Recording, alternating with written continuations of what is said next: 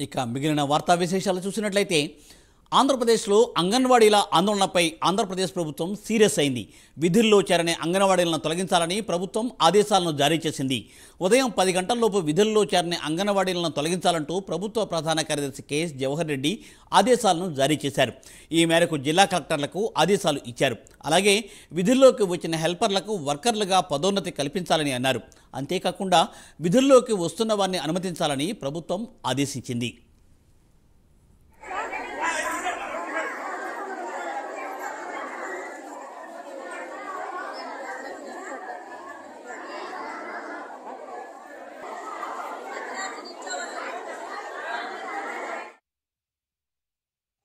పేరు మల్లెమ్మ.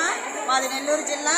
మమ్మల్ని రాత్రి ధర్నా చౌక దగ్గర రెండు గంటలకి పోలీసులు వచ్చి లైట్లు ఆర్పేసి మా మీద దాడి చేశారు.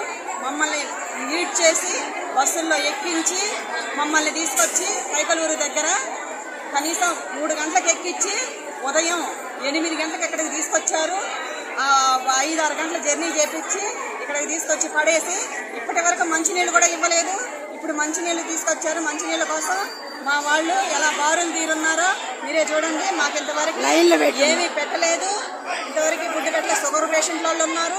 మంచినీళ్ళ కోసం మా వాళ్ళు వస్తే వాళ్ళని కసిరి పారేస్తున్నారు. వాళ్ళకి మంచినీళ్ళు కూడా ఇవ్వడం లేదు. ఇదంతా జగన్ మాపై చేయిస్తున్న అరాచకం. ఈ అరాచకాన్ని అరికట్టాలని మేము కోరుకుంటున్నాం.